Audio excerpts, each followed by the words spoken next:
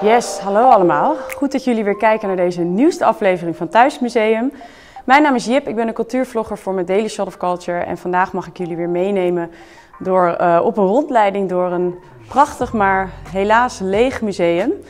Um, ik vind het wel een voorrecht dat ik hier weer uh, mag rondlopen in mijn eentje.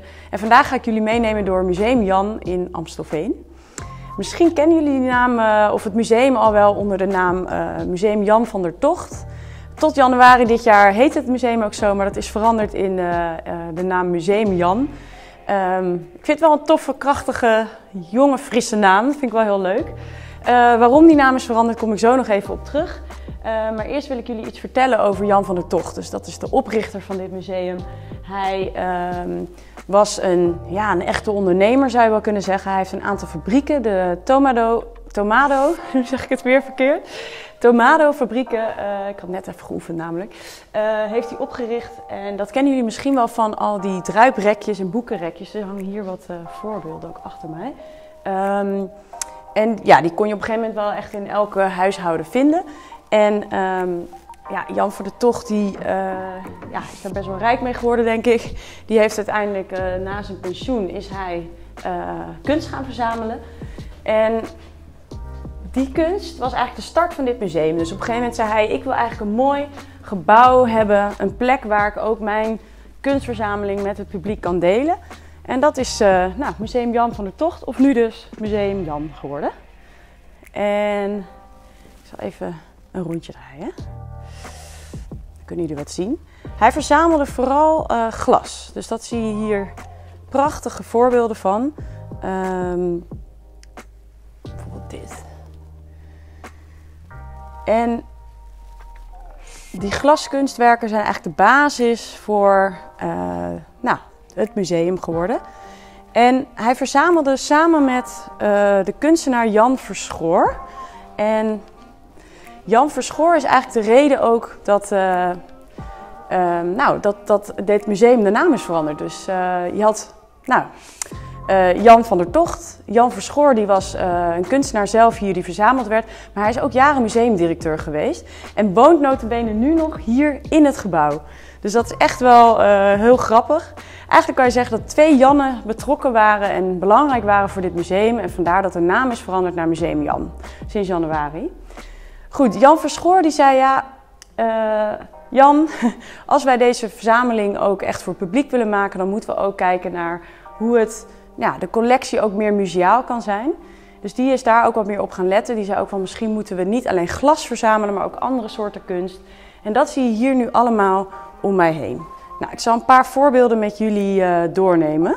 Um, de eerste bijzondere die ik wil laten zien, dat is deze. Um, er zijn eigenlijk verschillende glastechnieken hier verzameld. En dit is een hele bijzondere. Als je goed kijkt, zie je een soort van ruitjes, verschillende kleurvlakken in dit glas. Um, en dat werd gedaan doordat uh, de ja, eigenlijk repen met glas werden naast elkaar gelegd. Die werden vervolgens aan elkaar gesmolten. En vervolgens werd uh, die hele glasplaat warm gemaakt, waardoor het inzakte en het deze bijzondere vorm kreeg. En uh, dat noem je, als ik het goed zeg, slamping. Slamping, volgens mij. Um, en dat was een heel moeilijk, precair proces. Want als dat uh, te warm werd, dan, uh, nou ja, dan kreeg je niet deze vorm. En smolt het zeg maar niet weer, werd het niet op tijd weer hard. Waardoor ja, het hele object mislukte. Dus het is een heel bijzonder kunstwerk. Nou, je ziet hier nog wel verschillende technieken. Bijvoorbeeld, dit is geblazen. Maar ook veel geslepen glas, die je hier bijvoorbeeld ziet. Echt wel heel mooi allemaal. Um, het was. Um, hallo, daar ben ik weer. Um, hij verzamelde in die zin dus ook echt glas wat kunst was. Dus je had heel veel glas wat natuurlijk gebruiksvoorwerpen waren. Maar dit waren allemaal dingen die bedoeld zijn uh, echt als kunstwerk. Dus echt glaskunst. En ik moet zeggen dat ik het ook echt wel heel erg mooi vind. Ik zal nog even een paar laten zien. Bijvoorbeeld deze. Echt fantastisch. Het helemaal een soort...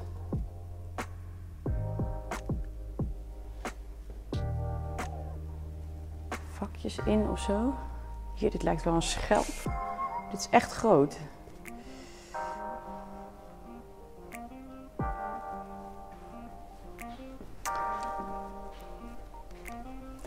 Goed, ik zei net al eventjes dat uh, ja, Jan Verschoor, dus de, de partner eigenlijk, of de, de museum-mededirecteur met uh, Jan van der Tocht, woont hier ook in het gebouw. En daar loop ik nu even naartoe. Dus eigenlijk is het museum om zijn huis heen gebouwd. Uh, en in die zin is hij dus ook nog steeds heel nauw betrokken bij dit museum. En uh, ik zal even zijn. hier achter mij is zijn huis. En dat is de museumdeur. Of de, sorry, de museumdeur. Het, het museumhuisdeur eigenlijk, moet ik zeggen. Um, ik heb net het vaste collectie laten zien. Wat ik jullie nu wil laten zien is uh, een tijdelijke tentoonstelling. En ik ruik gewoon hier de verf. Die is nog helemaal nieuw en dat is die van Jan Kremer. En je hoort het goed, een derde Jan. Uh, Jan Kremer, ja, schrijver, kunstenaar. Um, en die hier nou ja, een heleboel werk heeft tentoongesteld. Dat laat ik zo natuurlijk aan jullie zien. Maar wat wel leuk is om te vertellen, en daar wil ik even een momentje voor vragen, is dat Jan Kremer, op de dag dat jullie nu deze vlog zien, is vandaag jarig en hij wordt 80 jaar. Dus Jan Kremer, als je dit ziet, gefeliciteerd jongen. Uh, je hebt een mooie tentoonstelling neergezet, vind het echt tof. Um, en ik ga hem nu aan jullie laten zien. Er zou natuurlijk eigenlijk een feestje zijn, maar dat kan niet doorgaan. Um, maar de hangen hier allemaal wel. Ja, Jan Kremer, hij uh, heeft een veelbewogen leven gehad. Uh, zijn moeder was um, balletdanseres. Zijn vader is overleden in de Tweede Wereldoorlog. En hij ging al jong uit huis om uh, op een schip te gaan werken. En hij heeft veel gezeild, veel, heel veel gebieden gezocht, daarna ook heel veel gereisd. En eigenlijk nu, met rond zijn 80ste verjaardag, kijkt hij eigenlijk terug op zijn jeugd. En de laatste 10, 15 jaar is hij zich vooral gaan toeleggen op het schilderen van zee-aangezichten of vergezichten. En nou, hij heeft een kenmerkende stijl, daar kom ik zo nog even op terug, met die heel grof is, met uh, verschillende materialen. Maar uh, het bijzondere is wel dat hij dus die zeegezichten is gaan schilderen nu de afgelopen 10, 15 jaar vanuit zijn herinnering. Want hij schildert in een, zijn atelier in Umbrië in Italië, waar geen zee in de buurt is. En toch heeft hij dit allemaal geschilderd.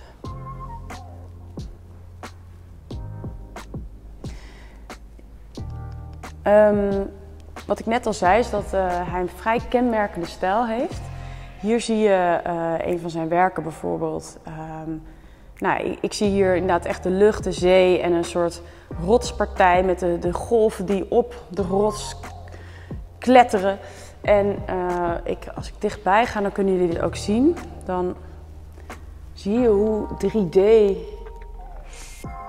dit werk is. Ik ga er nog even aan de zijkant naast staan. Kijk, zo kan je het goed zien. En hij doet dat door jute en um, zand te gebruiken in zijn werk. Um, en het heeft dus ook dichtbij iets heel abstracts. Dan denk je echt, wat, wat zie ik hier? Maar als je er dan vanaf loopt, dan, uh, dan is het duidelijk dat hij dus die, die zeeaangezichten schildert. Wat ik wel bijzonder vind, ik ben zelf iemand, mijn ouders zijn zeilers, ik heb heel veel op het water doorgebracht. Dus ik kan me voorstellen, hij zei ook van de zee is zo uh, krachtig. Ik, ik, ik, schilder het liefst de zee, vooral als hij woest is. Ik hou van de storm. Dus zijn schilderijen zijn ook nooit rustig. Het zijn hele wilde, uh, ja, onstuimige zeeën. En het grappige is ook wel dat in het begin zag je echt nog wel lucht en zee. Maar hier wordt het steeds abstracter.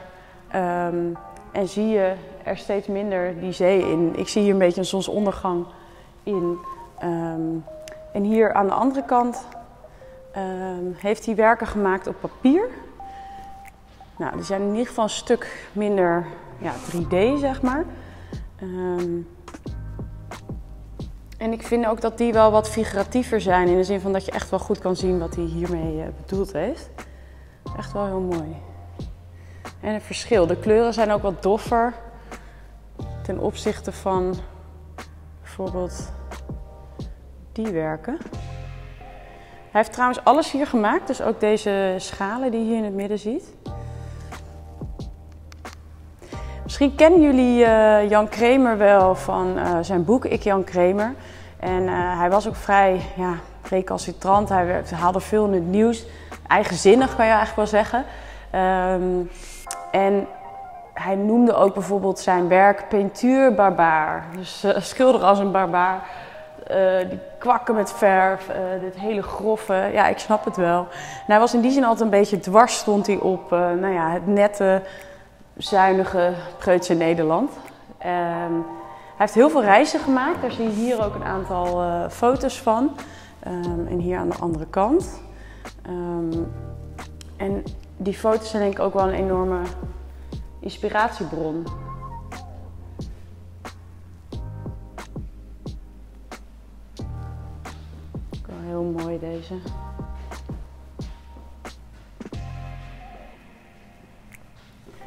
Dit is een van zijn nieuwste werken. Um, wat ik net al zei, hij heeft dus uh, uh, 15 jaar lang, de afgelopen 15 jaar, dus dat is eigenlijk heel recent, heeft hij al deze, is hij plotseling die zee gaan schilderen. En je kan het ook een beetje zien alsof hij terugblikt op zijn onstuimige leven. En dat hij dan toch merkt dat die zeegebieden, of die zee, zoveel impact heeft gemaakt. En hier, ik heb net dus even aan geroken. Um, dat ga ik nu weer even doen. dat kunnen jullie natuurlijk niet. Maar het is dus zo nieuw. Ik ruik letterlijk hier de verf nog. En het schijnt dat hij ook even probeert of het allemaal wat droog is. Het is natuurlijk super dik. Nou goed, hij komt uit 2019, dus het is nu al droog. Maar ik ruik gewoon de verf. Je ruikt het hier ook in de omgeving. Wel echt, uh, of in de tentoonstellingszaal. Heel tof. En ik had het net over dat dat werk natuurlijk heel abstract is van dichtbij. Um, maar van veraf uh, wordt het steeds duidelijker. Dat ga ik even met dit werk laten zien. Kijk, we beginnen eventjes dichtbij. Hier zie je weer hoe grof, groot dit werk is. En dan gaan we naar achter. En dan kunnen jullie zien dat het steeds meer die zee wordt met een lucht.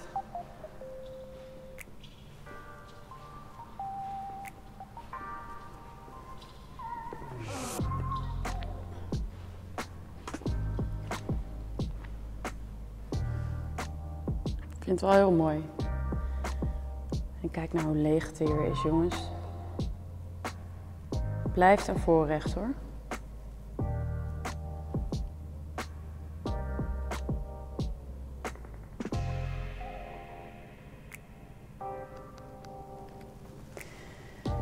Wat ik ook begreep is dat uh, Jan Kremer dan uh, ja, staat vaak in het middelpunt van de aandacht. Uh, maar dat er ook momenten waren in zijn leven of periodes waarin hij zich echt terugtrekt en helemaal genoeg had van die kunstenaars zien en zich even ja, op zichzelf en op zijn kunst wilde richten. En dit, deze werken zijn eigenlijk een ja, uitkomst daarvan. Um, van een periode waarin hij zich terug heeft getrokken in Italië en is gaan schilderen uit een belangrijke periode uit zijn uh, leven.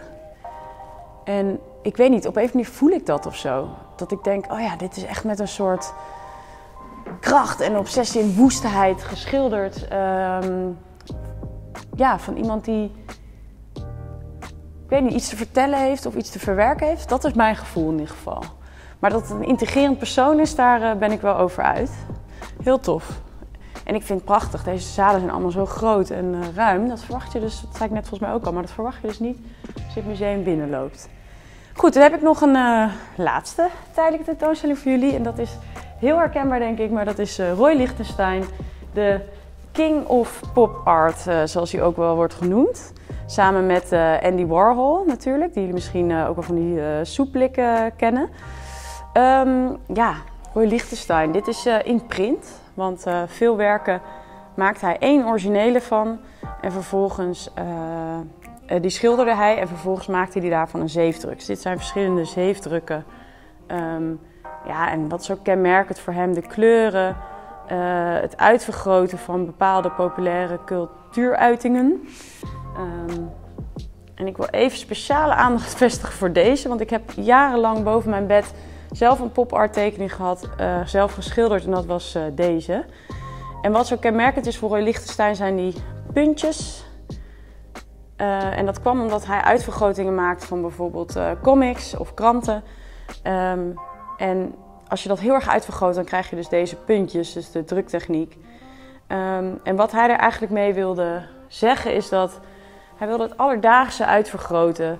En daarmee vestig je eigenlijk juist weer de aandacht erop, denk ik. En in populaire cultuur was het ook heel gebruikelijk de reproductie en het hergebruik. Dus zo werkte hij dus ook. Dus hij maakte inderdaad dus die, dat originele uh, werk en liet dat dan op wel een beperkte oplage, maar dan herdrukken. Um, dit is ook wel een bijzonder werk. Dit is zijn uh, inspiratie, is uh, Picasso. Ik denk mensen wel zullen herkennen. Ze had verschillende thema's. Hij maakte dus dingen uit comics of uit stripboeken. hier een serie met kunstenaars waar hij zijn inspiratie uit haalt. En als laatste gaan we eventjes daar naartoe. Interieurs en spiegelbeelden. Dus die zie je bijvoorbeeld hierachter ook wel een heel mooi werk.